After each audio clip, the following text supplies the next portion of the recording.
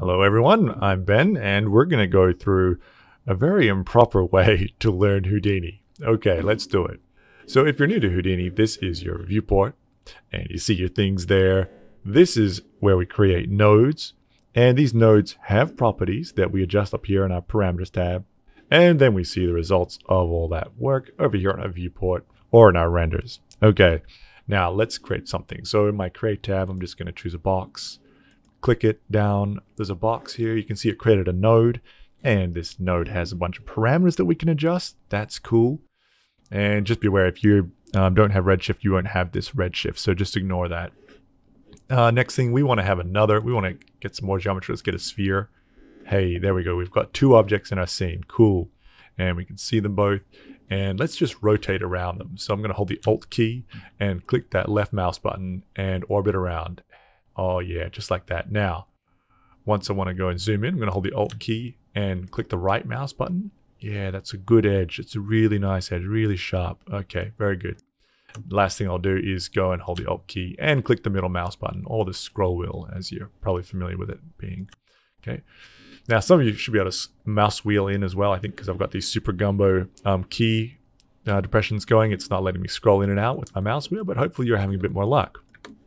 Okay, so we've got two nodes here, um, and they're in our object context. You can see we have these different contexts. So if we're ever looking to create geometry, we're basically going to be in this object context. Okay, we might use something like mat if we want to create materials and out if we want to render things out. So let's just stay in our OBJ context, right? Object context. And let's blow away these nodes. Select them, press delete. Goodbye.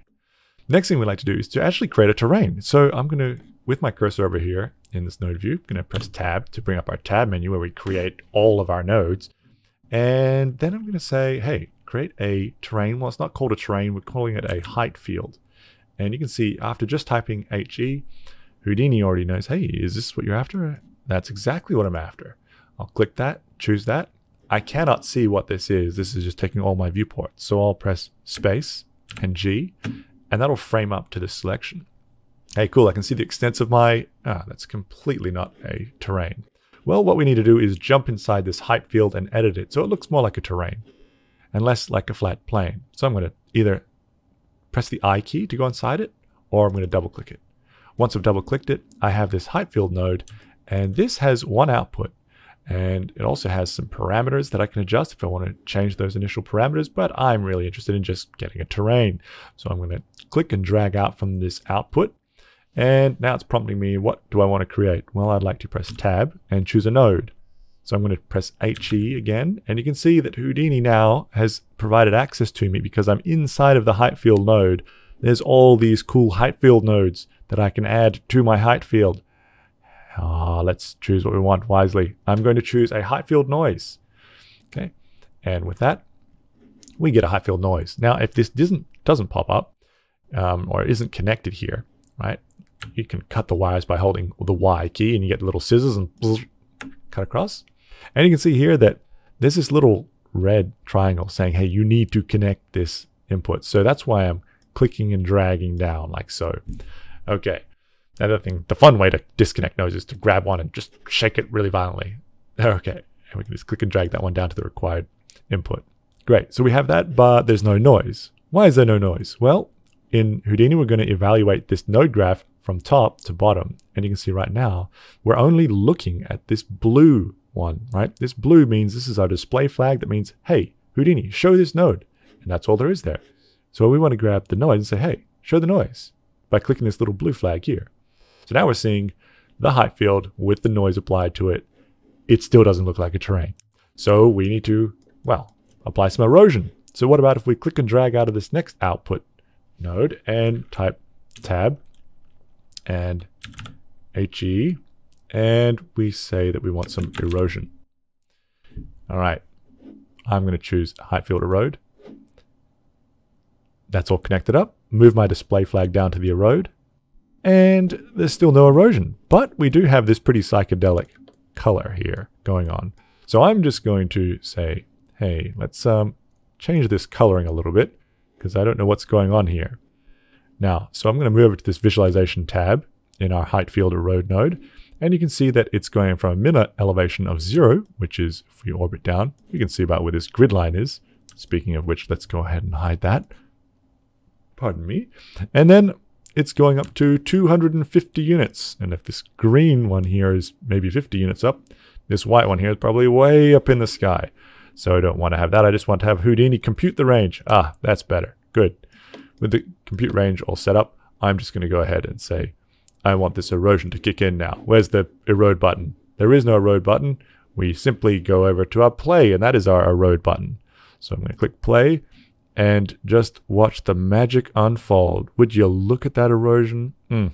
Mm, mm, mm, mm, mm. That's just what I want. Okay, cool. So I, I don't have to let that go too far. Maybe 20 frames. That's looking pretty good to me already. Right. I'm happy with that erosion. I got some cool debris here. I got some water that's formed and pulled up. Some nice erosion giving me these sharp peaks. That is looking very much like a terrain to me.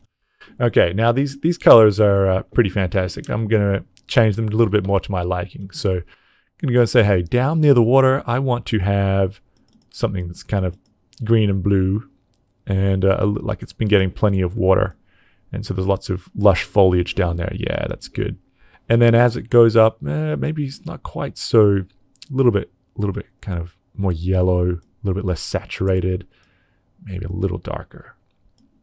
And nah, it's gotta be, it's gotta be bluer. Yeah, that just looks so good. Hey, speaking of bluer, we can actually change the color of the water here because this is too blue.